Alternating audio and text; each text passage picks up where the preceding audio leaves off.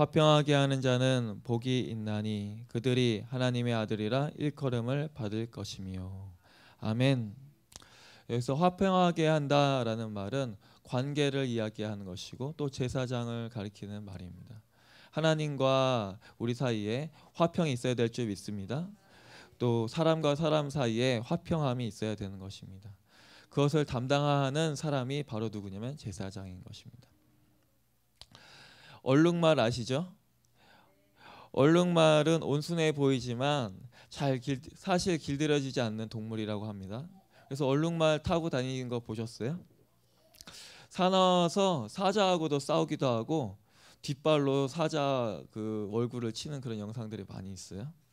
사람에게 해를 입히기도 하고 합니다. 또 머리가 커서 사실상 잘 달릴 수가 없어요. 그리고 그래서 이제 또 얼룩말 고기가 별로 맛이 없다고 합니다. 그래서 이 사람들이 얼룩말을 타고 다니는 걸 볼 수가 없는데 검은색과 흰색의 그 조화 때문에 이 매혹적으로 보이는 이 얼룩말의 무늬는 전 세계에 세 개의 종이 살고 있는데 다 아프리카에 살고 있어요.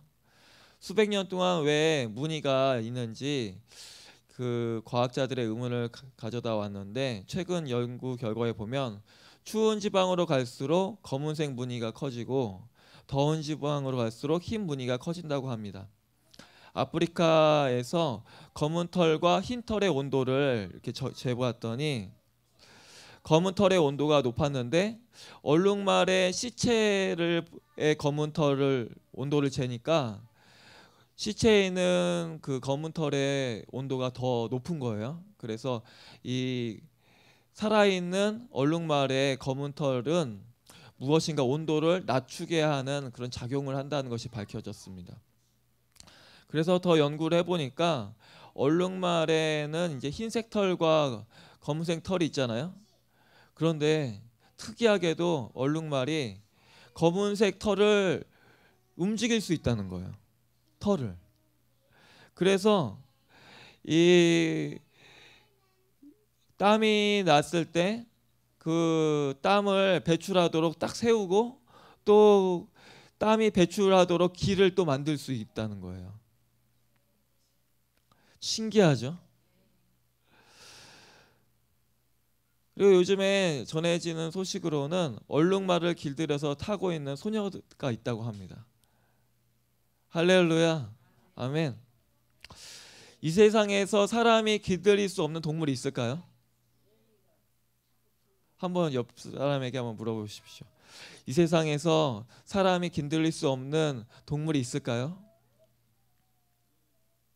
모르겠어요. 그제 딸이 그 개구리를 보, 고 무섭다고 해요. 그래서 개구리 입이 커서 얘를 잡아먹을 수 있대요. 그래서 제가 야, 네 입이 더 커. 네가 더 커서 개구리가 너 보면 도망가. 그랬어요. 또 얼마 전에는 또 상어가 무섭대요. 상어가 사람보다 이 무섭고 막 그렇게 느껴지나 봐요. 그래서 제가 상어는 사람을 무서워해. 그랬어요. 상어가 사람을 만나면 뼈도 무출이죠. 예, 뼈도 무출이에요. 한국 사람은 특별히 가리지 않고 다 먹는데 박쥐는 안 먹었으면 좋겠습니다. 박쥐는 안 먹었으면 좋겠어요. 이 세상에서 가장 무서운 분은 하나님 한 분밖에 없다고 일러 주었는데 우리도 명심해야 될 줄 믿습니다. 창세기 1장 28절 함께 보도록 하겠습니다. 하나님이 그들에게 복을 주시며 하나님이 그들에게 이르시되 생육하고 번성하여 땅에 충만하라 땅을 정복하라 바다의 물고기와 하늘의 새와 땅에 움직이는 모든 생물을 다스리라 하시니라. 아멘. 하나님께서 인간에게 복을 주시고 이 바다의 물고기와 하늘의 새와 땅에 움직이는 모든 생물을 다스리라라고 말씀하셨습니다. 그 말은 모든 이 생물을 다스릴 수 있다고, 하는 것은 길들일 수 있다는 것이죠. 할렐루야. 인간이 길들이지 못하는 동물이 과연 있을까요? 창세기 3장 14절에서부터 15절 함께 봉독하겠습니다. 여호와 하나님이 뱀에게 이르시되 내가 이렇게 하였으니 내가 모든 가축과 들의 모든 짐승보다 더욱 저주를 받아 배로 다니고 살아 있는 동안 흙을 먹을지니라. 내가 너로 여자와 원수가 되게 하고 내 후손도 여자의 후손과 원수가 되게 하리니 여자의 후손은 내 머리를 상하게 할 것이요 너는 그의 발꿈치를 상하게 할 것이니라 하시고 아멘. 인간이 길들일 수 없는 동물 그게 누구일까요? 사단. 하나님께서 분명히 이렇게 이야기했습니다. 여자와 원수가 되게 하고 내 후손도 여자의 후손과 원수가 되게 하리니. 할렐루야. 원수기 때문에 길들일 수가 없는 것이에요. 할렐루야. 그래서 뱀을 길들이려고 하면 안 됩니다. 그 여기 보는 뭐 뱀을 얘기하는 거 아니에요. 사람이 뱀도 다 길들입니다. 필이 불면 사람이 뱀이 움직이잖아요. 악어도 사람이 다 길들입니다 사단은 영적인 존재를 가리키는 것이 것이지 이렇게 육적인 존재를 가리키는 것이 아닙니다. 요한복음 8장 42절 함께 봉독하겠습니다. 예수께서 이르시되 하나님이 너희 아버지였으면 너희가 나를 사랑하였으리니 이는 내가 하나님께로부터 나와서 왔음이라 나는 스스로 온 것이 아니요 아버지께서 나를 보내신 것이니라 아멘 예수님께서는 자기 스스로 오신 것이 아니고 하나님께로부터 오셨다고 말씀하고 계시고 하나님의 아들이라는 것을 친히 증거하고 계십니다. 아멘. 43절 함께 봉독하겠습니다. 어찌하여 내 말을 깨닫지 못하느냐? 이는 내 말을 들을 줄 알지 못함이로다. 너희는 너희 아비 마귀에게서 났으니 너희 아비의 욕심대로 너희도 행하고자 하느니라. 그는 처음부터 살인한 자요 진리가 그 속에 없으므로 진리에 서지 못하고 거짓을 말할 때마다 제 것으로 말하나니 이는 그가 거짓말쟁이요 거짓의 아비가 되었습니다. 아멘 예수님께서 말씀하고 있는 거 유대인을 향해서 뭐라 하고요? 마귀의 자녀다라고 얘기하고 있는 것입니다. 누가 마귀의 자녀입니까? 크게 한번 따라합시다. 욕심대로 행하는 자는 마귀의 자녀다. 여기서 분명히 이야기하고 있습니다. 너희 아비의 욕심대로 너희도 행하고자 하느니라. 아멘. 또 크게 한번 따라합시다. 하나님의 말씀을 깨닫지 못하는 자가 마귀의 자녀이다. 그래서 하나님의 말씀을 깨닫지 못하면은 구원받을 수 없기 때문에 마귀의 자녀가 되는 것입니다. 그래서 말씀을 깨달아야 될 줄 믿습니다. 할렐루야. 최근에 장마로 많이 비가 많이 내렸죠. 그래서 이 쓰레기 분리수거를 못해서 이제 앞에 쓰레기가 많이 쌓였어요. 그래서 들고 박스를 막 들고 이제 쓰레기 분리수거를 하고 또 음식물 쓰레기를 버리고 또 음식물 쓰레기도 이제 날이 뜨거우니까 금방 상하잖아요. 냄새가 많이 나잖아요. 그래서 이제 버리러 갔는데 버리고 이제 그 음식물 쓰레기통을 수도가에서 씻으려고 가고 있는데 그 차에 청년 한 명이 막 머리를 내밀고 이렇게 기웃기웃 거리는 거예요. 그래서 제가 이렇게 그냥 봤지만은 뭐 그냥 이렇게 이제 그 수도가를 가고 있었어요. 그런데 수도가로 가니까 그 청년이 안녕하세요 인사를 하는 거예요. 근데 알고 봤더니 청년이 아니고 아인 거예요. 얘가 좀 머리가 커요. 차에서 이렇게 보니까 청년인 줄 알았어요. 그래서 제가 어, 아 우리 아파트에 사는 아이구나 생각하고 너 몇 층 사니 그랬어요. 그랬더니 갑자기 왜요? 그러는 거예요. 아 그래 제가 뭐라고 대답해야 되나 생각을 하다가 그래 말하기 싫으면 말하지 않아도 된다 그렇게 얘기했어요. 그리고 이제 있는데 이 친구 이 친구가 어린 아이가 이 놀이터로 막 뛰어갔어요. 그리고 음식물 쓰레기통을 씻다 보니까 아버지가 차로 오더라고요. 그 아이의 아버지가. 그리고 차에 이제 탔는데 제 생각에 아 그 아이가 있었는데 아버지가 그 아이가 어디 갔는지 궁금해서 걱정하지 않을까 생각이 들어서 말을 해줘야 되나 생각하고 있는데 갑자기 그냥 차를 운전하고 나가더라고요. 아마 아이가 어디 있는지 다 알고 있으니까 갔겠죠. 저는 그 아이의 아, 아버지가 아니기 때문에 굳이 더 이야기할 필요가 없는 것입니다. 아버지가 물어보면 대답을 하였겠죠. 아멘. 자녀들은 아버지와 대화를 합니다. 그러나 아버지가 아니면 굳이 대화를 하지 않아도 돼요. 그럴 의무가 없기 때문입니다.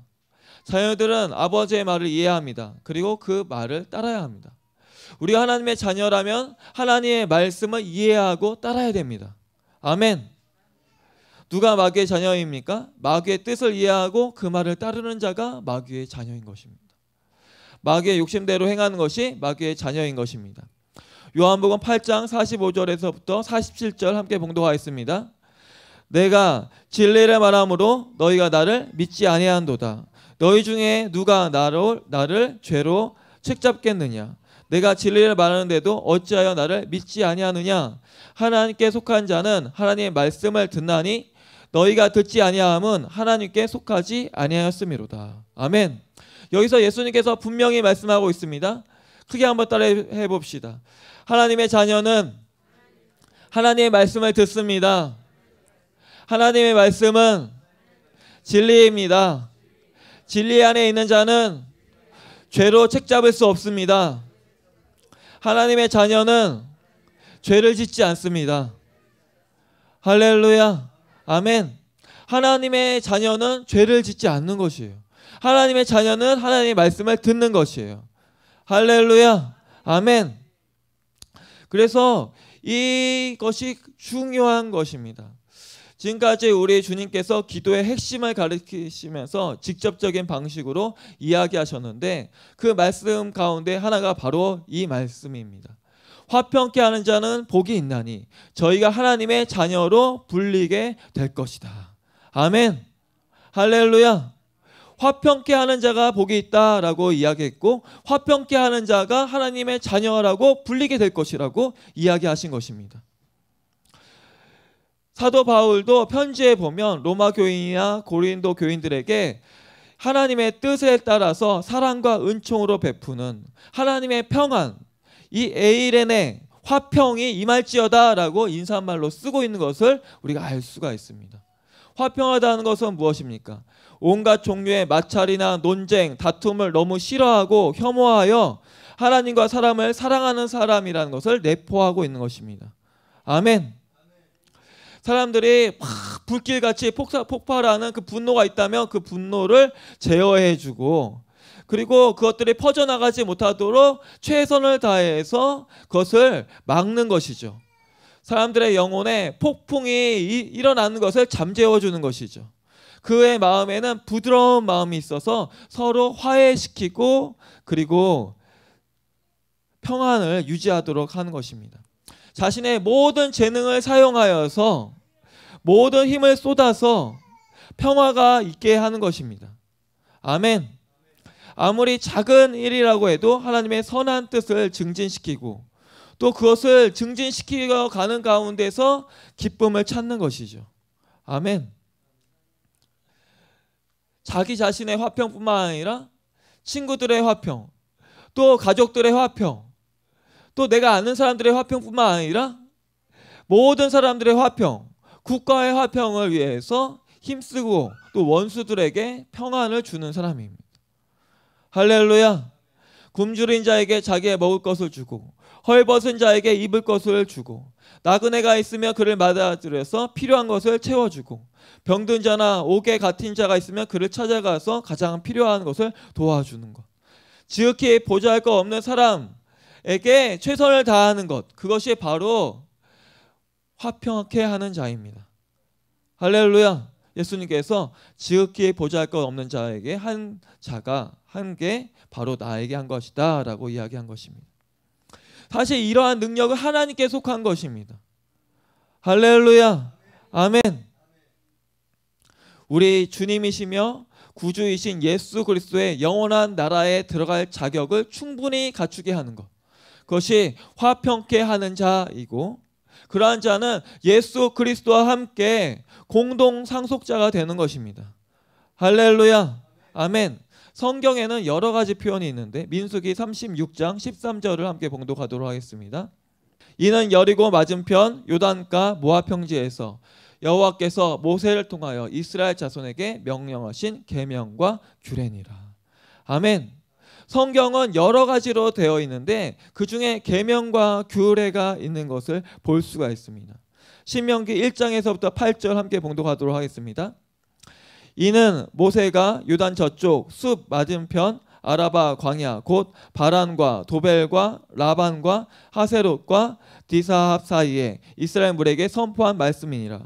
호렙산에서 세일산을 지나 가데스 바네까지 열 하루 길이더라. 마흔 해 열한째 달 그 달 첫째 날에 모세가 이스라엘 자손에게 여호와께서 그들을 위하여 자기에게 주신 명령을 다 알렸으나 그때에는 모세가 헤스본에 거주하는 아모리 왕 시온을 쳐 죽이고 에드레이에서 아스타롯에 거주하는 바산 왕 옥을 쳐 죽인 후라. 모세가 요단 저쪽 모압 땅에서 이 율법을 설명하기 시작하더라.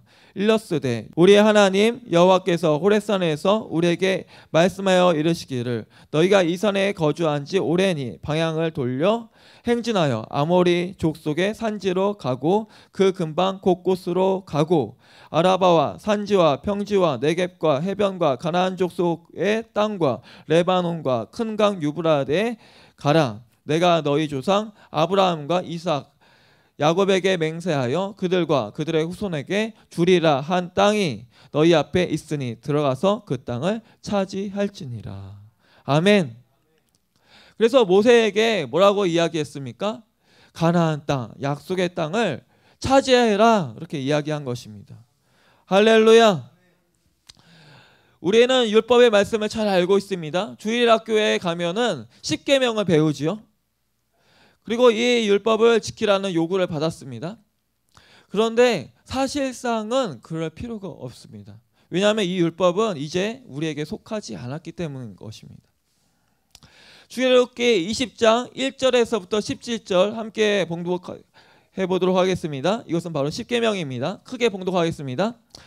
하나님이 이 모든 말씀으로 말씀하여 이르시되 나는 너를 애굽 땅 종되었던 집에서 인도하여 낸 내 하나님 여호와니라. 나는 너 위에는 다른 신을 내게 두지 말라 너를 위하여 새긴 우상을 만들지 말고 또 위로 하늘에 있는 것이나 아래로 땅에 있는 것이나 땅 아래 물 속에 있는 것에 어떠한 형상도 만들지 말며 그것들에게 절하지 말며 그것들을 섬기지 말라. 나 내 하나님 여호와는 질투하는 하나님인즉 나를 미워하는 자의 죄를 갚되 아들로부터 아버지로부터 아들에게로 3, 4대까지 이르게 하거니와 나를 사랑하고 내 계명을 지키는 자에게는 천대까지 은혜를 베푸느니라 너는 내 하나님 여호와의 이름을 망령되게 부르지 말라. 여호와는 그의 이름을 망령되게 부르는 자를 죄 없다 하지 아니하리라. 안식일을 기억하여 거룩하게 지키라. 엿새 동안은 내 모든 일을 행할 것이나 일곱째 날은 내 하나님 여호와의 안식일인즉 너나 내 아들이나 내 딸이나 내 남종이나 내 여종이나 내 가축이나 내 문 안에 거하는 머무는 객이라도 아무 일도 하지 말라. 이는 엿새 동안 나 여호와가 하늘과 땅과 바다와 그 가운데 모든 것을 만들고 일곱째 날에 쉬었습니다. 그러므로 나 여호와가 안식일을 복되게 하여 그날을 거룩하게 하였느니라. 내 부모를 공경하라. 그러면 내 하나님 여호와가 내게 준 땅에서 내 생명이 길리라. 살인하지 말라, 가늠하지 말라, 도둑질하지 말라, 내 이웃에 대하여 거짓 증거하지 말라, 내 이웃의 집을 탐내지 말라, 내 이웃의 아내나 그 남종이나 그의 여종이나 그의 소나 그의 낙이나 무릇 내 소유의 이웃의 소유를 탐내지 말라. 아멘. 왜 십계명을 지킬 필요가 없습니까? 예수님께서 이 십계명을 해석해 주신 말씀이 뭐냐? 팔복이에요. 그래서 우리는 무엇을 지켜야 돼요? 팔복을 지켜야 되는 것이. 할렐루야. 아멘. 이 부분에 대해서 우리가 더 깊게 들어가도록 하겠습니다. 십계명을 솔직히 보면은 십계명이 어려운 것은 아닙니다.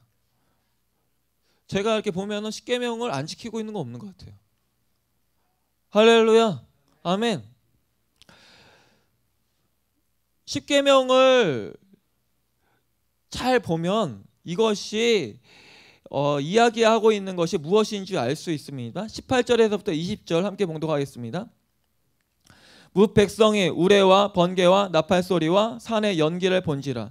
그들이 볼 때에 떨며 멀리 서서 모세에게 이르되 당신이 우리에게 말씀하소서. 우리가 들으리이다.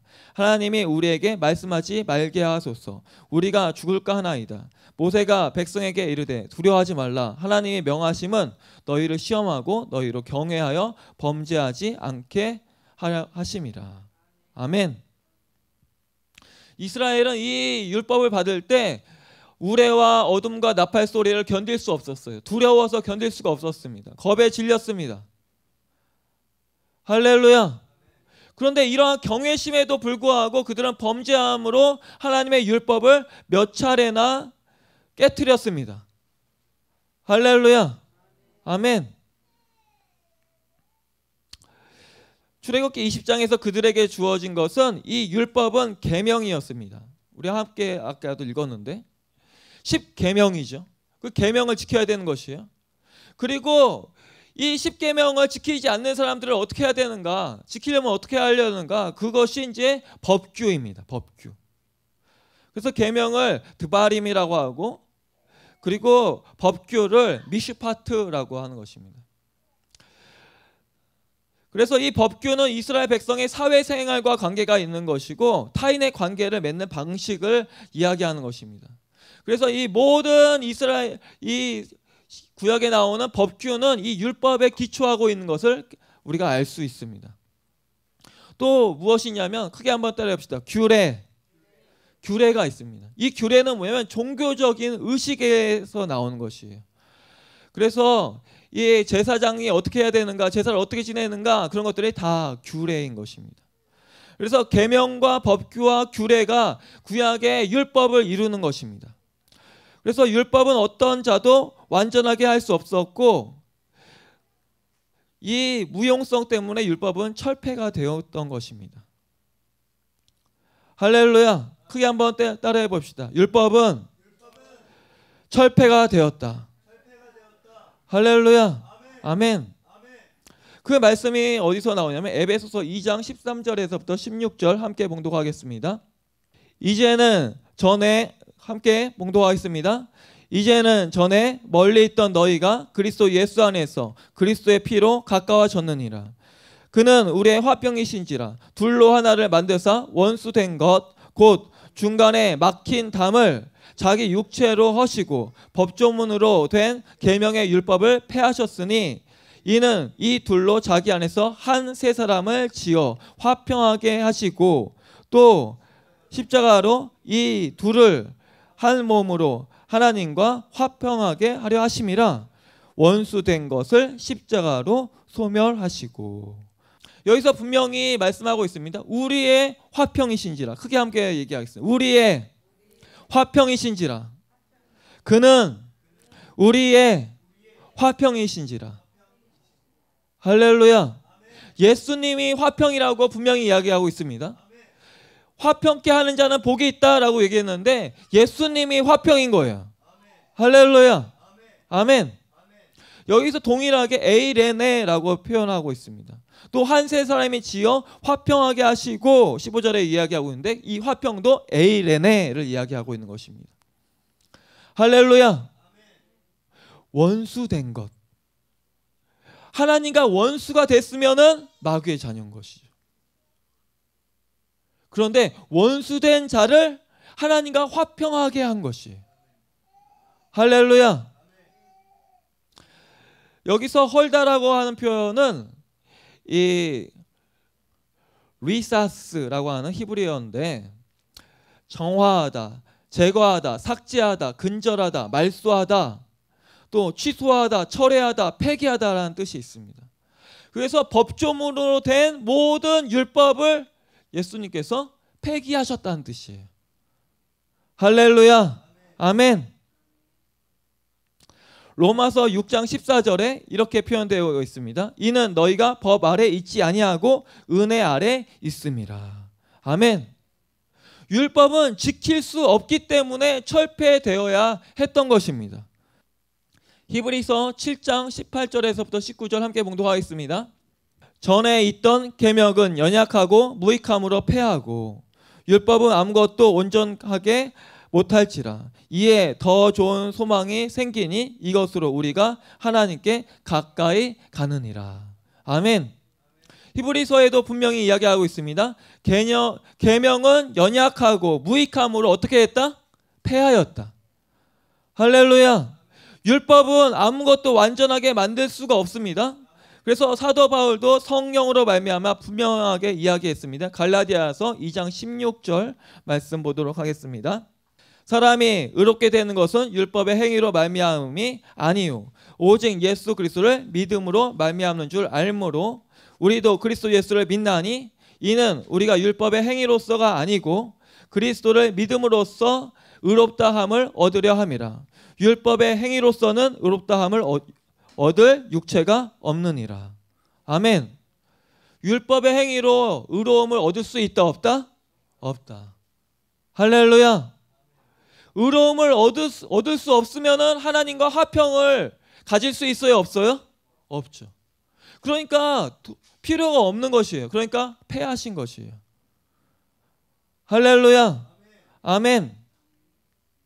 디모데전서 1장 8절에서부터 11절까지 함께 봉독하도록 하겠습니다. 그러나 율법은 사람이 것을 적법하게만 쓰면 선한 것임을 우리가 아노라.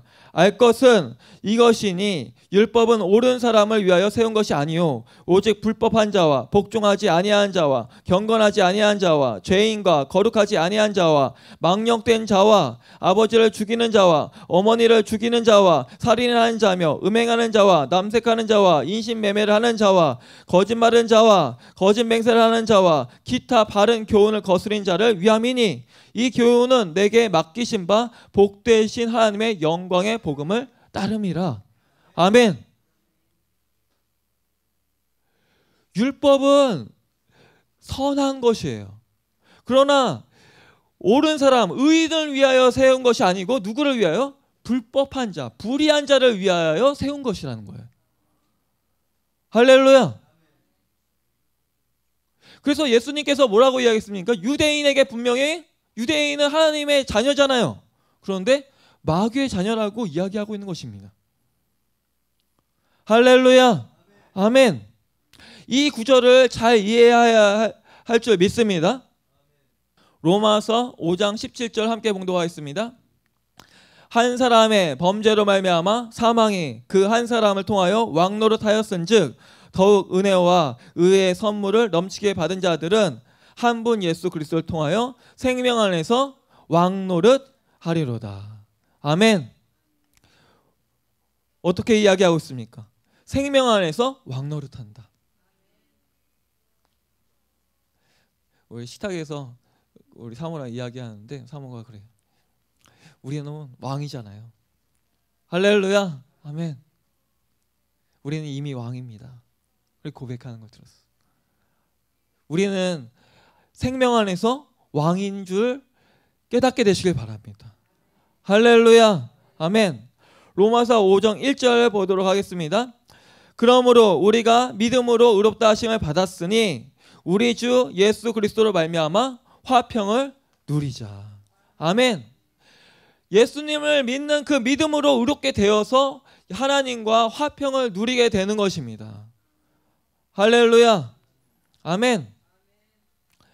율법은 크게 한번 따라해 봅시다. 율법은 그리스도인에게 주어진 것이 아니라 무법자와 경건치 않은 자와 거룩하지 않은 자들과 속된 자들과 살인자들을 위하여 제정된 것입니다. 아멘. 할렐루야. 아멘. 신명기 22장 5절에 보면 사람의 복장에 대해서 나오고 있어요. 그런 복장에 나오는 그런 말씀을 복, 우리가 순종하고 복종한다고 그래서 우리가 구원받는 것이 아닙니다. 의로워지는 것이 아닙니다. 할렐루야. 아멘. 옛 언약의 율법은 시온에는 적용되지 않는 것입니다. 율법의 저주로부터의 속량은 크게 한번 따라해 봅시다. 율법의 저주로부터의 속량은 오직 유대인을 위한 것이었다. 할렐루야. 이 말씀을 분명하게 우리 마음에 깨닫게 되시길 바랍니다. 갈라디아서 3장 13절 함께 봉독하겠습니다. 그리스도께서 우리를 위하여 저주를 받은 바 되사 율법의 저주를 우리를 저주에서 우리를 속량하사 기록된 바 나무에 달린 자마다 저주 아래 있는 자라 하였습니다. 아멘. 여기서 누가 속량을 받았습니까? 율법의 저주 아래 있는 자가 속량을 받은 것입니다. 할렐루야. 대한민국 사람이 율법을 받은 적이 있습니까? 대한민국 사람이 시내산에 가서 십계명을 받은 적이 있습니까? 규례를 받았습니까? 받은 적이 없습니다. 율법의 저주로부터의 속량하신 것은 누구다? 율법을 받은 사람들입니다. 할렐루야. 아멘. 제가 가서 빚을 졌어요. 가게. 그래서 그 빚을 이한 한 달 먹고 한 달 뒤에 계산하기로 했는데 갔는데 저는 이제 계산을 해야 돼요. 그런데 만약에 우리 성도님 중에 한 분이 갔어요. 밥 먹으러 갔어요. 그런데 빚을 진 적이 없는데 돈 내라고 할 수 있어요? 돈 내라고 할 수 있어요? 돈 내라고 할 수 없죠. 맞죠? 왜? 빚을 진 적이 없기 때문이에요. 마찬가지입니다. 저는 그 저는 그 뭐그 그 식당 주인과 아 나중에 후불제로 계산하기로 하고 빚을 짓는 것이죠. 마찬가지로 율법이 그렇게 주어져야 언약이 주어져야 그것을 지킬 의무가 있는 것이에요. 주어지지 않으면 지킬 의무가 있다 없다? 없다. 그러면은 이방인들은 죄를 안 진 것입니까? 그것이 아니에요. 온 땅의 인류 중에서 이스라엘에게 율법을 주어진 것은 그들이 하나님의 뜻을 음성을 듣고 따랐기 때문에 율법을 주신 거예요. 그런데 이방 사람들에게 율법을 주지 않은 것은 율법을 주지 않았기 때문에 이스라엘 백성보다 더 악하다는 것이 증명되는 것이. 맞죠? 할렐루야. 로마서 9장 13절에 이렇게 표현되어 있습니다. 내가 야곱을 사랑하고 에서를 미워하였다. 그런 것처럼 유대인을 선택하시고 이방인을 선택하지 않으셨던 것이에요. 갈라디아서 3장 13절에 그리스도께서 율법의 저주에서 우리 유대인들을 속량하셨으니라는 뜻입니다. 바울도 유대인이니까. 할렐루야. 아멘. 자, 로마서 3장 19절 함께 봉독하겠습니다. 우리가 알거니와 무릇 율법이 말하는 바는 율법 아래에 있는 자들에게 말하는 것이니 이는 모든 입을 막고 온 세상으로 하나님의 심판 아래 있게 하려 함이라. 아멘. 율법 아래에 있는 자에게 이야기하고 있는 것이에요. 할렐루야. 아멘. 로마서 3장 22절부터 23절 함께 봉독하겠습니다. 곧 예수 그리스도를 믿음으로 말미암아 모든 믿는 자에게 미치는 하나님의 은이 차별이 없느니라 모든 사람이 죄를 범하였음에 하나님의 영광에 이르지 못하더니 아멘. 율법의 저주가 사라진 것은 유대인과 이방인 둘 다 유익이 돼요. 유대인들은 해방되었던 것이고 이방인들은 약속의 참여자가 된 것이에요. 할렐루야. 이방인들에게는 하나님께서 약속한 적이 없어요. 그런데 약속에 참여하게 하신 것입니다. 갈라디아서 3장 14절 함께 봉독하겠습니다. 이는 그리스도 예수 안에서 아브라함의 복이 이방인에게 미치게 하고 또 우리로 하여금 믿음으로 말미암아 성령의 약속을 받게 하려 함이라. 할렐루야. 여기서 분명히 이방인에게 무엇이 옵니까? 성령의 약속. 할렐루야. 아멘. 믿으시면 크게 아멘 하시길 바랍니다. 아브라함과 맺으신 언약. 그 그리스도께서도 속한 그 약속이 유대인의 범위를 넘어서 이 확장되도록 계획된 것입니다. 예수께서 저주가 되심으로 인해서 그 약속이 이방인에게 확장되고 그들도 아브라함에게 하신 하나님의 약속에 참여자가 된 것입니다. 할렐루야. 믿음에 의해서 성령을 약속으로 받게 된 것입니다. 그래서 우리는 아브라함의 씨앗이 된 것입니다. 로마서 3장 21절에서부터 27절 함께 봉독하도록 하겠습니다. 이제는 율법 외에 하나님의 의가 나타났으니 율법과 선지자들에게 증거를 받은 것이라. 곧 예수 그리스도를 믿음으로 말미암아 모든 믿는 자에게 미치는 하나님의 은이 차별이 없느니라. 모든 사람이 죄를 범하였음에 하나님의 영광에 이르지 못하더니 그리스도 예수 안에 있는 속량으로 말미암아 하나님의 은혜로 값없이 의롭다 하심을 얻는 자 되었느니라. 이 예수를 하나님이 그의 피로써 믿음으로 말미암는 화목 제물로 세우셨으니 이는 하나님께서 길이 참으시는 중에 전에 지은 죄를 간과하심으로 자기의 의로우심을 나타내려 하심이니 곧 이때 자기의 의로우심을 나타내사 자기도 의로우시며 또한 예수 믿는 자를 의롭다 하려 하심이라. 그런즉 자랑할 때가 어디 있느냐? 있을 수 없느니라. 무슨 법으로냐? 행위로냐 아니 아니라 오직 믿음의 법으로니라. 할렐루야. 우리는 무엇으로 구원받게 됩니까? 믿음으로. 할렐루야. 아멘. 하나님의 의가 차별 없이 유대인이나 이방인이나 하나님의 이 복음이 들어왔다는 사실을 깨닫게 되시길 바랍니다. 율법과 별개로 들어온 의가 나타남으로 말미암아 우리는 하나님 앞에서 의로워질 수 있는 것입니다. 크게 한번 따라해 보시죠. 율법에 복종할 필요가 없게 되었다. 우리가 의롭게 되기 위해서 율법에 복종하는 것이 아니에요. 우리는 예수 그리스도를 믿음으로 말미암아 의롭게 되는 것입니다.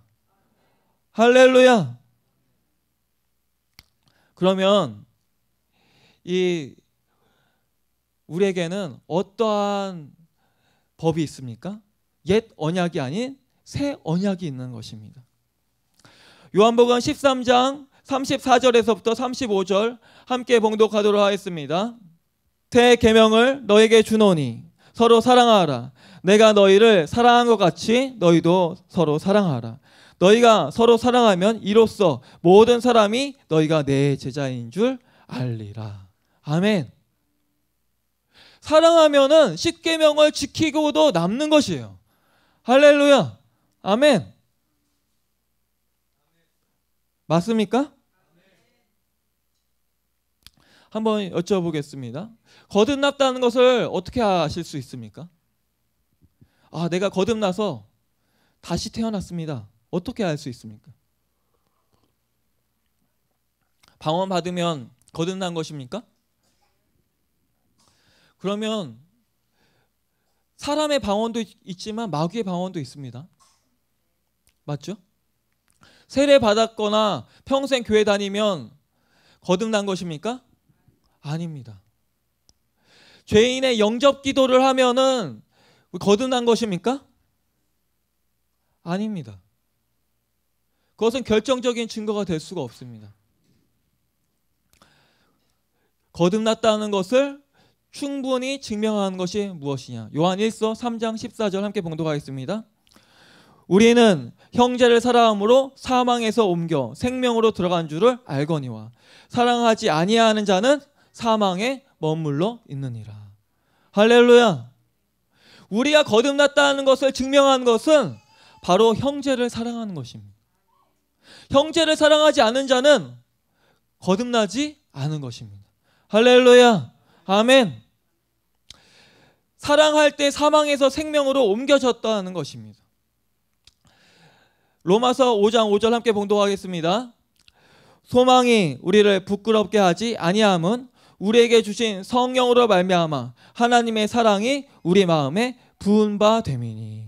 할렐루야. 성령이 부어졌을 때 무엇이 임합니까? 하나님의 사랑이 부어지게 되는 것입니다. 하나님의 사랑은 우리의 심령의 처소를 발견하고 그리고 그 안에 부어짐으로 말미암아 우리의 성도인은 다른 사람을 사랑할 수 있는 그 마음을 가지게 되는 것입니다. 성령이 우리 안에 들어오지 않으면 우리는 결단코 사랑할 수 없는 것입니다. 우리가 거듭나지 않으면 이새 계명을 결단코 지킬 수 없는 것입니다. 새 계명을 너에게 주노니 서로 사랑하라. 내가 너희를 사랑한 것이 너희도 서로 사랑하라. 모세의 율법에도 이런 말씀이 있습니다. 레위기 19장 18절 함께 봉독하겠습니다. 원수를 갚지 말고 동포를 원망하지 말며 내 이웃을 사랑하기를 내 자신과 같이 사랑하라. 아멘. 사랑하게 되시길 바랍니다. 제가 아버지께서 원주에서 목회하실 때 한 1988년도쯤 될 것 같아요. 초등학교 한 2, 3학년이었는데 그 교회랑 사택이 붙어 있었는데 이 악한 영에 사로잡힌 여자가 교회에 확 들어왔어요. 그래서 갑자기 어머니를 해치려고 이제 위협을 했습니다. 어머니랑 저밖에 없었는데 어려 제가 어리잖아요. 어리니까 막아야 됐다고 생각하고 연탑 집게를 탁 집어서 어머니한테 드렸어요. 근데 어머니가 분명히 제가 손잡이 쪽으로 어머니를 드렸는데 집게 쪽을 붙잡고 이렇게 하는 거예요. 그러니까 그 사람이 그 손잡이를 탁 잡고 다시 어머니를 해치려고 하는 거예요. 빼, 빼앗아서. 그래서 제가 막 분노가 일어나고 막 대들었어요. 그랬더니 그 사람이 가버렸어요. 할렐루야. 아멘. 저는 저보다 두세 배 큰 어른이었는데 그 악한 영에 붙들린 여인이 도망쳤습니다. 사랑은 강합니다. 사랑에는 강한 능력이 있다는 사실을 깨닫게 되시길 바랍니다. 어리고 힘이 부족했어도 우리는 사랑 안에서 강하고 하나님은 사랑이신 것입니다. 할렐루야. 고린도전서 12장 31절 함께 봉독하겠습니다.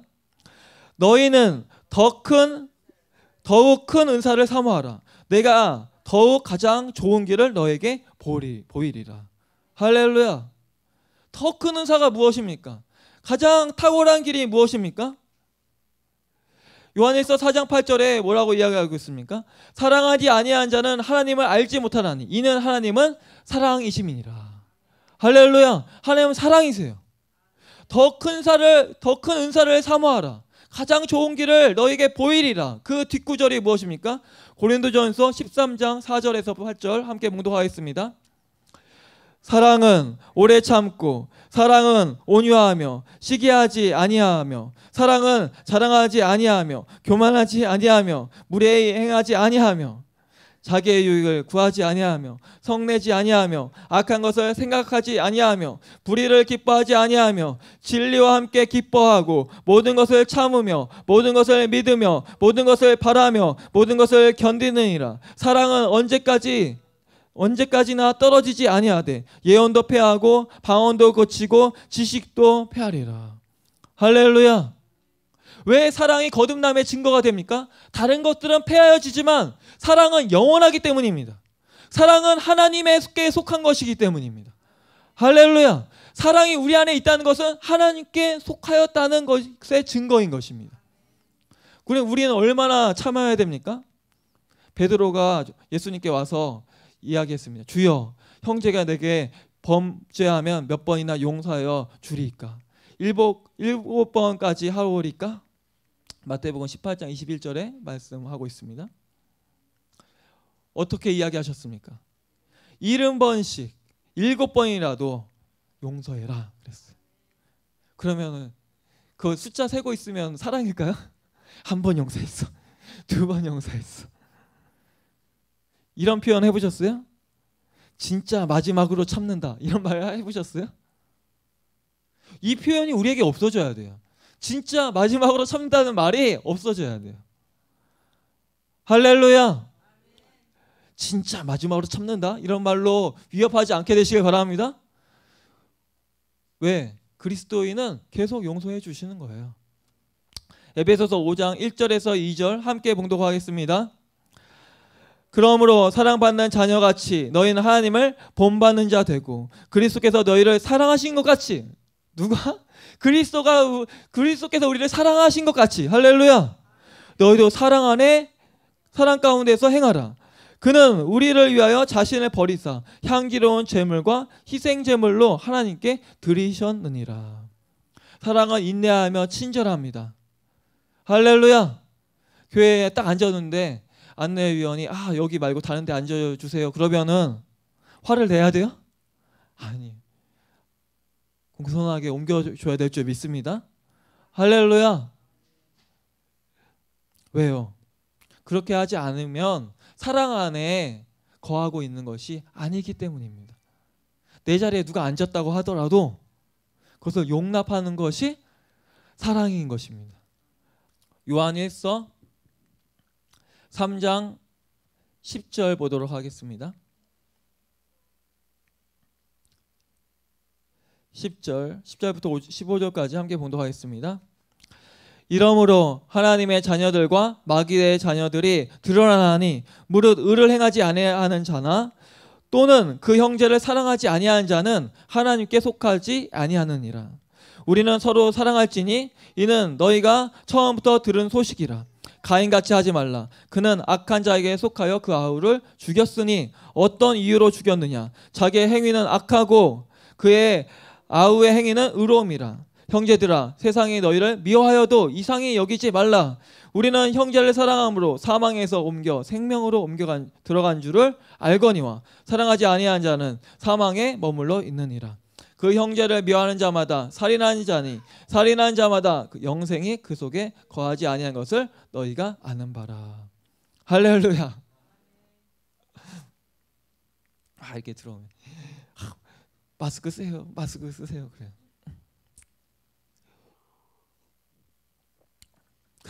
실상은 누가 마스크를 써야 됩니까?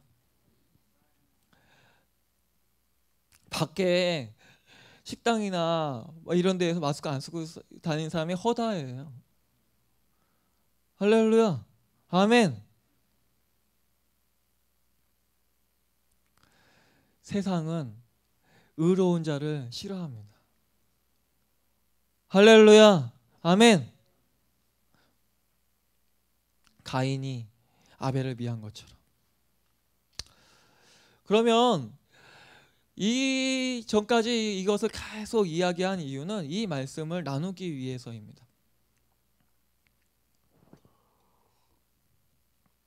어떤 말씀이냐?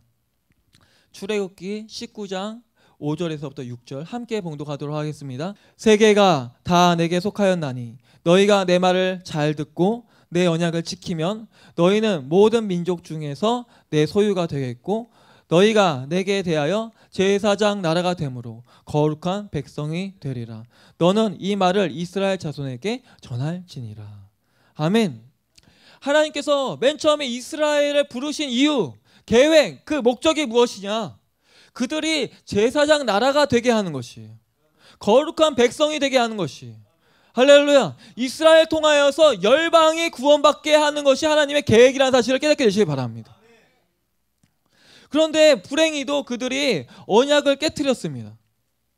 그리고 언약을 깨뜨림으로 인해서 제사장이 되지 못한 것입니다. 언약을 깨뜨렸다는 것은 율법을 율법을 어겼다는 것이 바로 언약을 깨뜨린 것이죠. 할렐루야. 아멘. 그래서 하나님은 예수 그리스도를 통해서 그 율법을 어떻게 하셨습니까? 철폐하신 것입니다. 할렐루야. 아멘. 하나님의 음성에 순종하지 않았기 때문에 하나님이 원하셨던 제사장의 나라가 될 수 없는 것입니다. 말라기서 2장 7절 함께 봉독하도록 하겠습니다. 제사장의 입술은 지식을 지켜야 하겠고 사람들은 그의 입에서 율법을 구하게 되어야 할 것이니 제사장은 만군의 여호와의 사자가 됨이거늘. 할렐루야. 제사장은 무엇입니까? 율법을 알아야 되죠. 할렐루야. 그리고 그 율법을 지켜야 되는 것이에요. 하나님의 말씀을 알아야 된다는 것이에요. 그런데 그들이 하나님의 말씀을 멀리 했어요. 그리고 하나님의 율법을 어겼어요. 그렇기 때문에 제사장이 될 수 없는 것이에요. 왜요? 율법을 어겼기 때문에 그들이 하나님 앞에 의롭지 못하기 때문입니다. 레위기 10장 11절 함께 봉독하겠습니다. 또 나 여호와가 모세를 통하여 모든 규례를 이스라엘 자손에게 가르치리라. 아멘. 모세를 통해서 모든 규례를 이스라엘 자손에게 가르치라고 이야기했습니다. 아론의 제사장 직은 하나님께 속한 일을 섬기기 위하여 세워진 것입니다. 예물을 하나님께 드리기 위해서 세워진 것입니다. 그리고 이 나라가 민족 전체가 제사장 나라가 되길 원하셨어요. 제사장의 책임은 먼저 하나님께 대한 것이고 그 다음은 사람에게 대한 것입니다. 그래서 하나님과 화목을 하게 하고 사람과 화목하게 하는 것이 무엇이다? 제사장이에요. 예수님께서 이렇게 말씀하고 계십니다. 화평케 하는 자는 복이 있나니 하나님의 자녀라고 일컬음을 받게 될 것이다. 그 말이 화평케 하는 자가 무엇이 무엇이냐? 그것은 제사장을 이야기하는 것이에요. 그 제사장이 되신 분이 누구시냐? 예수 그리스도시라는 사실을 깨닫게 되시길 바랍니다. 히브리서 8장 3절 함께 봉독하겠습니다. 대제사장마다 예물과 제사 드림을 위하여 세운 자니 그러므로 그도 무엇인가 드려야 할 것이 있어야 할지니라. 아멘. 제사장은 예물이 있어야 돼요. 그런데 그 예물을 무엇으로 드리셨습니까? 예수님의 몸으로 예물을 드리신 것입니다. 할렐루야. 아멘. 이스라엘 자손은 제사장의 나라가 되지 못했습니다. 왜 그렇습니까? 구약의 선지자를 통해서 하나님이 원래 계획하셨던 제사장 나라자가 나라가 될 거에 대해서 여러 번 이야기하셨습니다. 이사야서 61장 1절에서부터 3절 함께 봉독하겠습니다.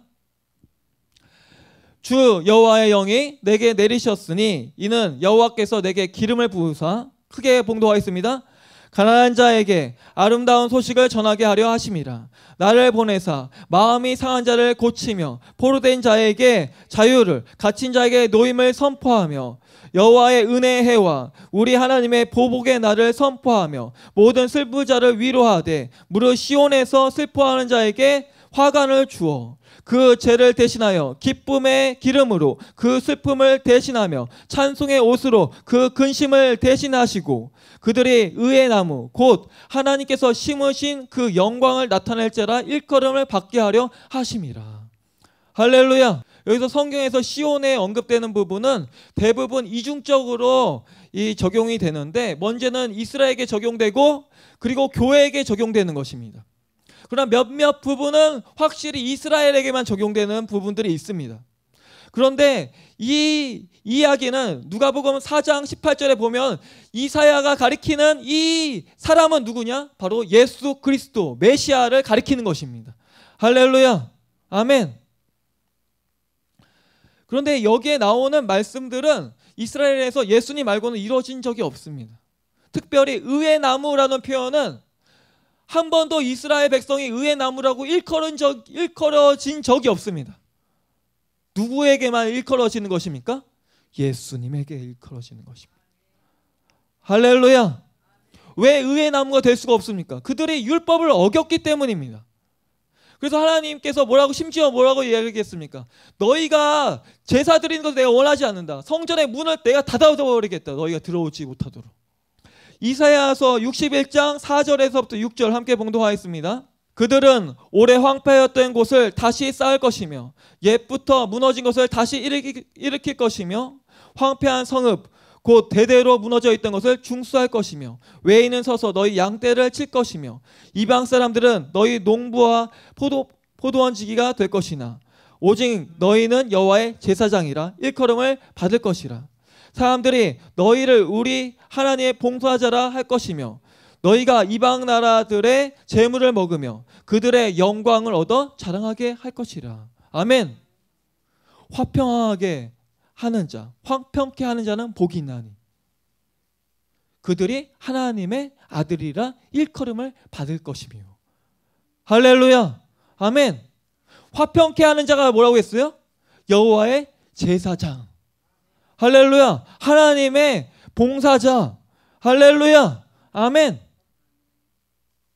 그들에게 무엇이 옵니까? 이방 사람들이 그들의 재물을 가지며 가지고 오고 영광을 가지고 오는 것이에요. 누구에게? 화평케 하는 자에게. 크게 한번 때보세요. 화평케 하게 하는 자는 시온에 있는 자이다. 화평케 하는 자는 시온에 있는 자입니다. 시온에 있다는 것은 이 이스라엘에 있는 시온을 가리키는 것이 아니에요. 하늘에 있는 시온을 가리키는 것이에요. 할렐루야. 천국은 시온에 속해 있는 것입니다. 할렐루야. 아멘. 이 말씀과 동일한 말씀. 이사야 60장 1절에서부터 3절 함께 봉독하겠습니다.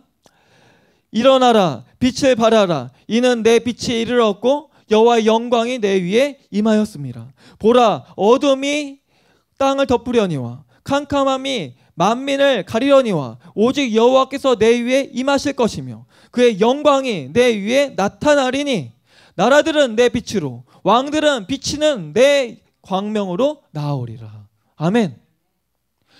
우리 성도님들에게 분명히 말씀드립니다. 이 말씀을 깨닫지 못하면 우리 성도님들은 부요를 절대 얻을 수 없습니다. 하나님께 오는 부요가 어디에서부터 오는가? 화평케 하는 자로부터 오는 것입니다. 자, 이사야서 2장 1절에서부터 2절 말씀 보도록 하겠습니다. 이 말씀은 너무너무 아름다운 말씀입니다. 함께 봉독하겠습니다. 아모스의 아들 이사야가 받은 유다와 예루살렘에 관한 말씀이라. 말일에 여호와의 전에 산이 모든 산 꼭대기에 설, 굳게 설 것이요. 모든 작은 산 위에 뛰어나리니 만방의 그리로 모여들 것이라. 아멘. 시온의 선자에게 만방이 모여든다는 것이에요. 무엇을 가지고? 온갖 재물과 부귀와 영광을 가지고 존귀를 가지고 할렐루야. 그리스도인이 시온에 서 있지 아니하면 어떠한 영광도 받지 못한다는 사실을 깨닫게 되시길 바랍니다. 율법을 지키려고 하는 자는 시온에서 바깥으로 나가는 자입니다. 그 사람은 하나님께서 약속하신 복을 하나도 받지 못합니다. 이사야서 9장 6절 함께 봉독하도록 하겠습니다.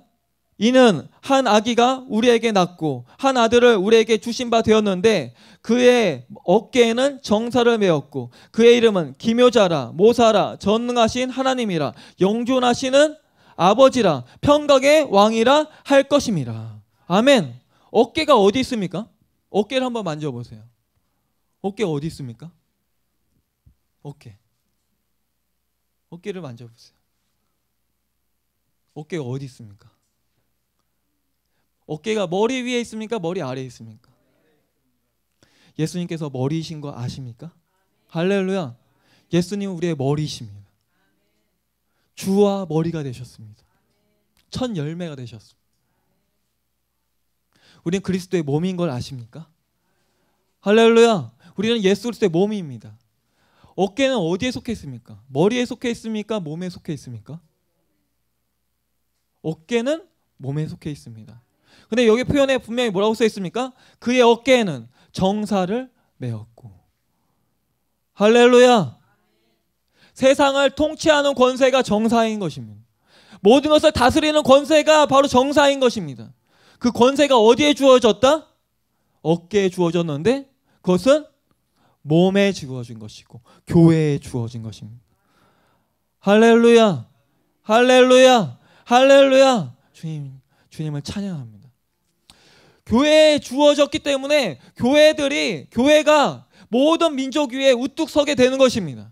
이사야서 2장 3절 함께 봉독하겠습니다. 많은 백성이 가며 이르기를 오라 우리가 여호와의 산에 오르며 야곱의 하나님의 전에 이르자 그가 그의 길을 우리에게 가르치실 것이라 우리가 그 길로 행하리라 하리니 이는 율법이 시온에서부터 나올 것이요 여호와의 말씀이 예루살렘에서부터 나올 것임이라 아멘 시온에서부터 법이 나올 것이라고 이야기하고 있어요. 할렐루야. 이 시온은 하늘에 있는 것입니다. 할렐루야. 주의 말씀은 예루살렘부터 나오는 것입니다. 바울이 이렇게 말씀하고 있습니다. 갈라디아서 4장 26절에 보면 예루살렘은 자유자니 곧 우리의 어머니라라고 이야기했습니다. 이 예루살렘을 예표하고 있는 것은 하늘이라는 사실을 깨닫게 되시길 바랍니다. 이사야서 8장 18절 함께 봉독하겠습니다.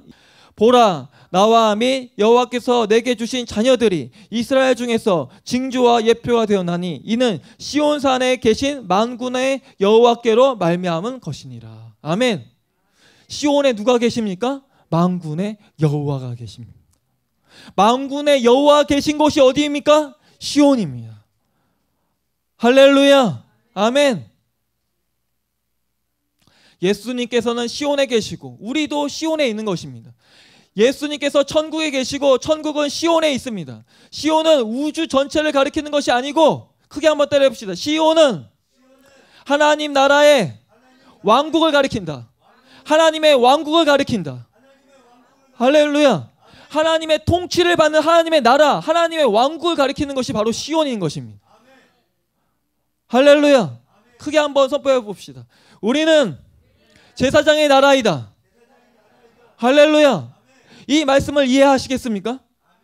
베드로전서 2장 5절 함께 봉독하겠습니다.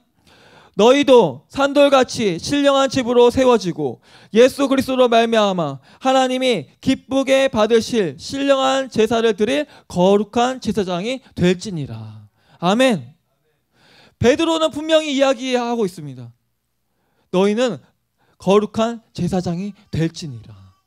구절도 함께 봉독하겠습니다. 그러나 너희는 택하신 족속이요 왕 같은 제사장이요 거룩한 나라요 그의 소유된 백성이니 이는 너희를 어두운 데로 불러내어 그의 기이한 빛에 들어가게 하신 이의 아름다운 덕을 선포하게 하려 하심이라. 옆 사람에게 이야기해 봅시다. 우리 성도님은 택하신 족속입니다. 왕 같은 제사장들입니다. 거룩한 나라의 나라입니다. 예수님의 소유입니다. 할렐루야. 아멘.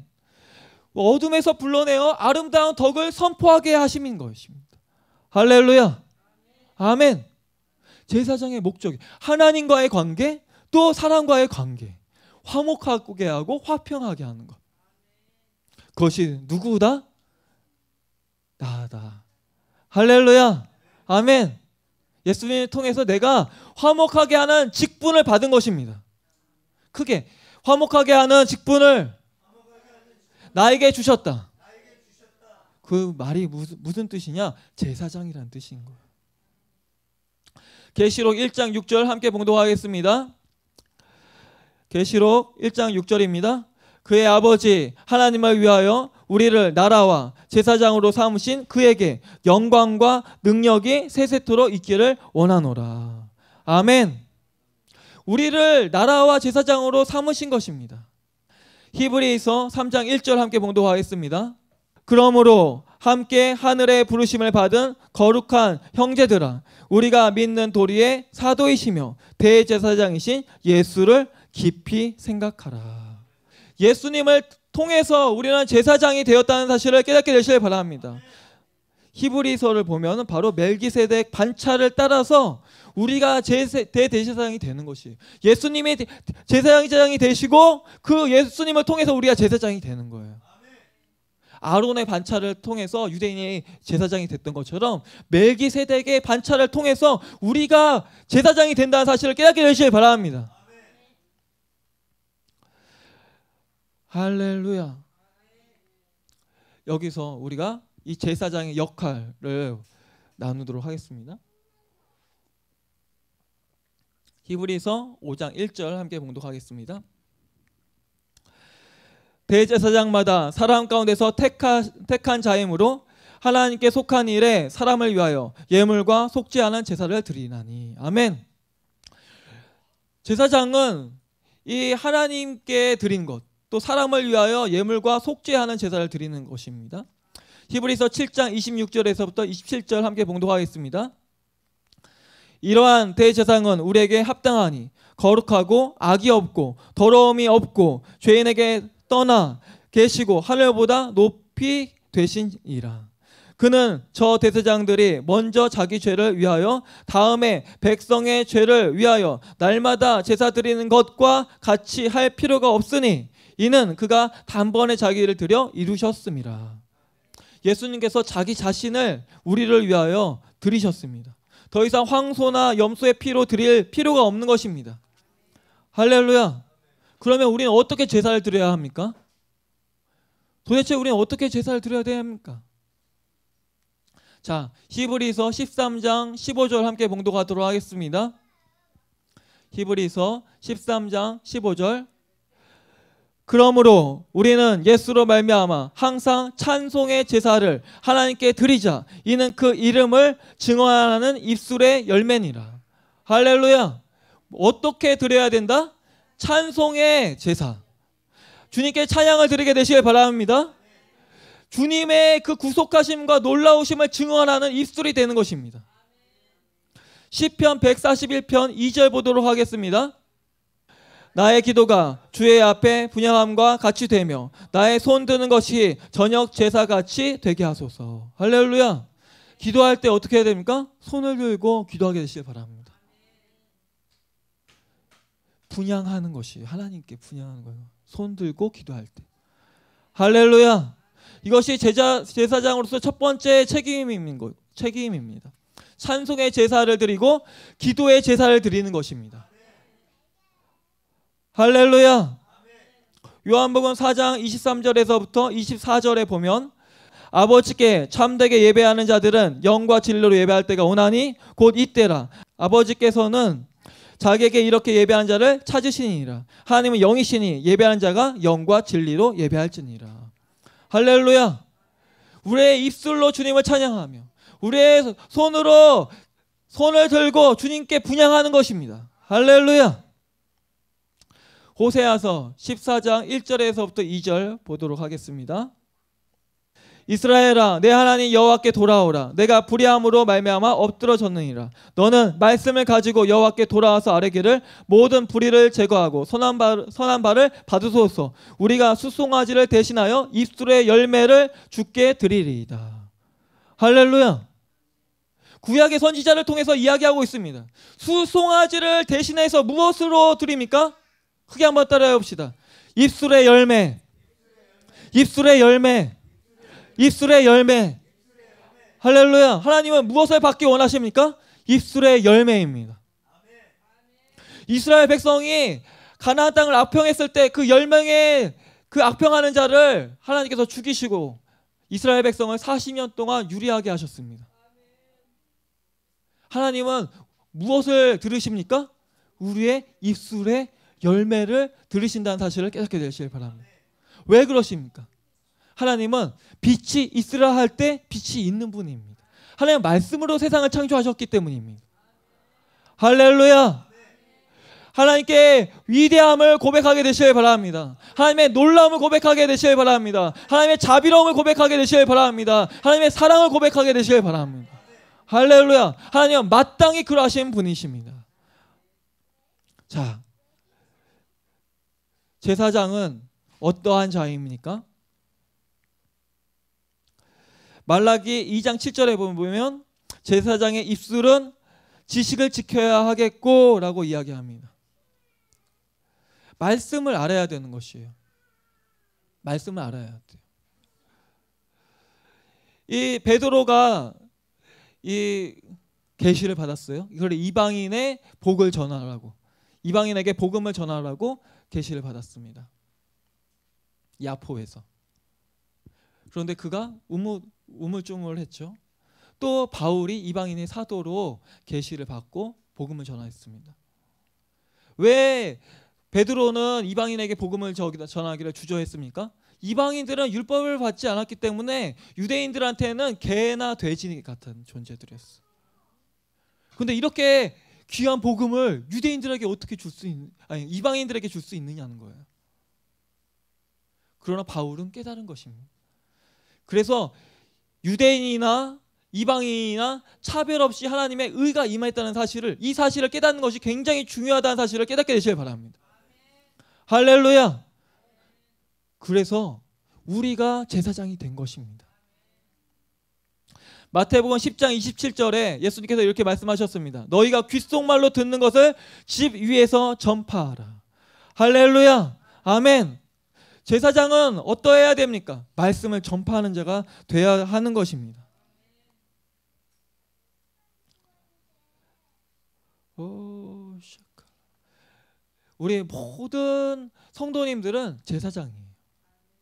특별히 교회에서 사도나 사도나 뭐 사도 선지자, 목사, 교사, 복음 전하는 자 이런 세, 특별히 세운 분들이 있죠.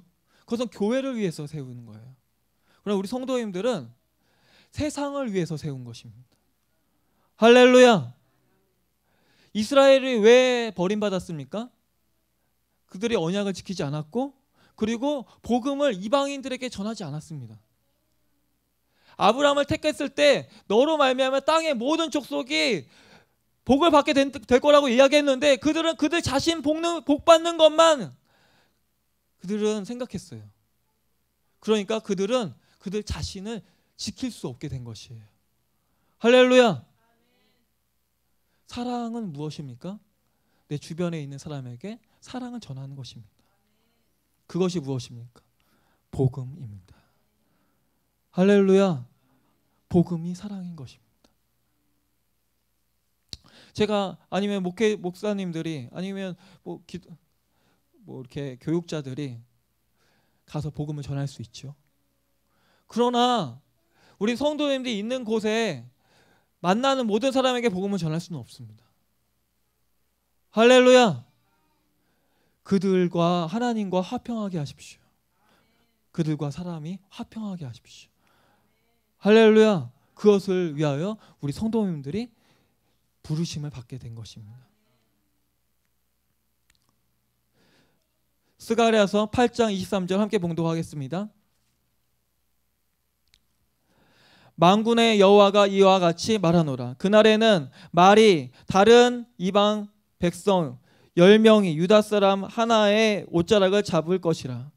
곧 잡고 말하기를 하나님이 너희와 함께 하심을 들었나니 우리가 너희와 함께 가려 하노라 하리라 하시니라. 할렐루야. 하나님께서 사람들 사람들이 레위인을 붙잡을 거라고 이야기하지 않으셨어요. 유대인의 옷자락을 붙잡을 거라고 이야기하셨어요. 할렐루야. 성경은 이면적 유대인이 유대인이 유대인이라고 하였고 할례 받은 그 마음의 할례를 받은 사람이 참 유대인이라고 이야기한 것이에요. 할렐루야. 아멘. 레위인은 이 이방 나라 사람들을 위해서 세움 받은 것이 아니에요. 유대인은 모든 하나님의 자녀를 가리키는 것이고 모든 하나님의 자녀는 하나님의 이 일에 대해서 부끄러울 것이 없도록 진리의 말씀을 옳게 분별할 수 있습니다. 디모데후서 2장 15절 함께 봉독하도록 하겠습니다. 너는 진리의 말씀을 옳게 분별하여 부끄러울 것 없는 일꾼으로 인정된 자로 자신을 하나님 앞에 드리기를 힘쓰라. 할렐루야. 아멘. 진리의 말씀을 듣고 분별해야 될 줄 믿습니다. 그리고 하나님 앞에 드리기 힘써야 되는 것입니다. 이사야서 60장 2절에 보면 어둠이 땅을 덮으려니와 캄캄함이 만민을 가릴 것이라고 하였습니다. 그러나 우리 성도님들은 빛으로 부르심을 받았습니다. 할렐루야. 세상의 빛입니다. 할렐루야. 그래서 우리 성도님을 통해서 불꽃이 타오르고 불이 타오르게 되는 것입니다. 말씀으로 타오르게 되는 것입니다. 할렐루야. 예수님의 이름을 증거하기를 두려워하지 않게 되시길 바랍니다. 두려워하지 않게 되시길 바랍니다. 할렐루야. 만약에 예수님의 이 복음을 전하는 것을 두려워하면 시온의 제사장으로 합당치 않은 것입니다. 제사장이 부끄러워서 제사를 못 지낸다면 그들이 그가 어떻게 제사장이 될 수 있습니까?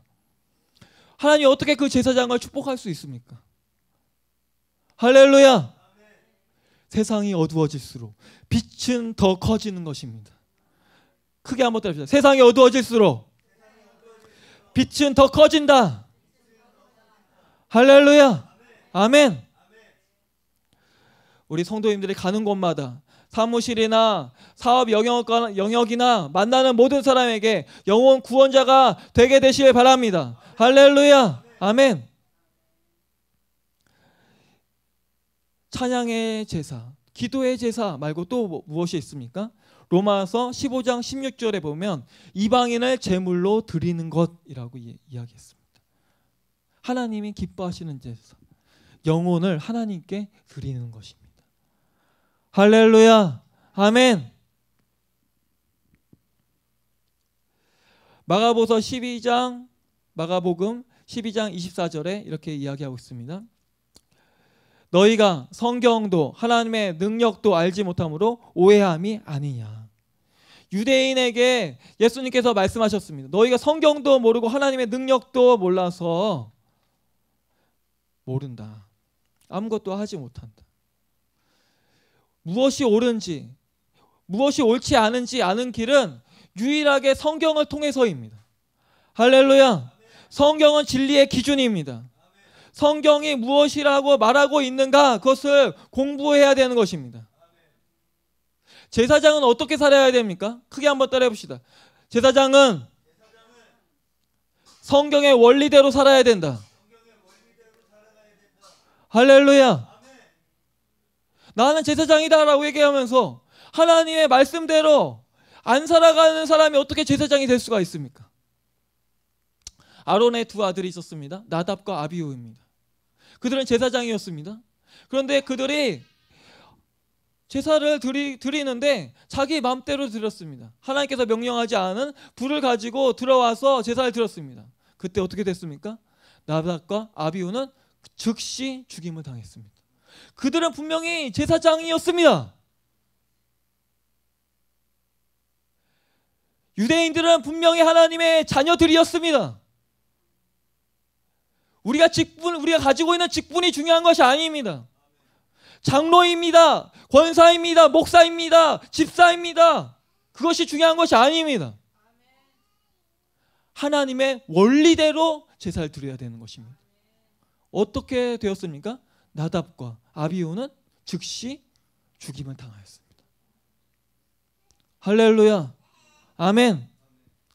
어떻게 하나님의 원리대로 살아갈 수 있습니까? 크게 한번 따라해 봅시다. 성경을 공부해야 된다. 성경은 공부해야 됩니다. 말씀을 연구해야 됩니다. 말씀을 그 말씀을 깨달으려고 노력해야 되는 것입니다.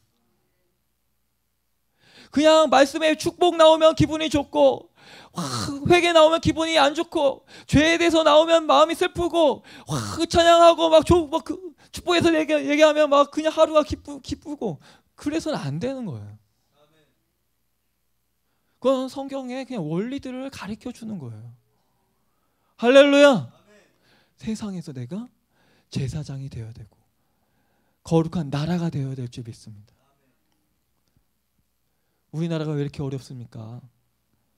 제사장 나라로서 역할을 못하기 때문에 어려운 것입니다. 왜 기독교인들이 지탄받습니까? 제사장으로서 역할을 하지 못하기 때문입니다.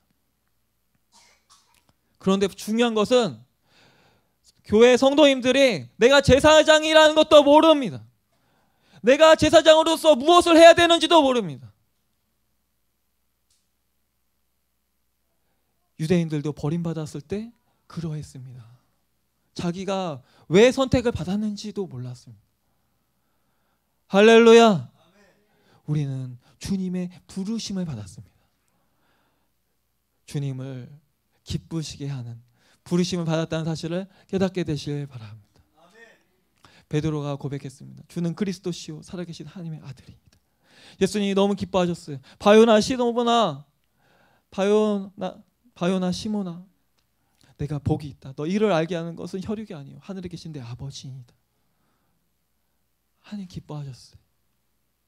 그 교회의 비밀 그것을 안 이 베드로에게 이방인에게 복음을 전하는 것에 대해서 계시해 주신 것이 할렐루야 아멘 율법을 그렇게 열심히 행했던 바울이 이 다메섹 도상에서 깨졌을 때 아 내가 율법을 행하는 것이 하나님을 핍박하는 것이구나 예수님을 핍박하는 것이구나 할렐루야 아멘 우리의 삶이 복음 중심으로 가게 되시길 바랍니다.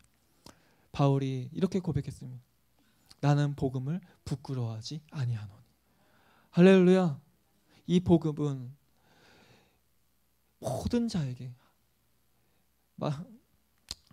로마서 1장 16절 함께 보도록 하겠습니다. 로마서 1장 16절.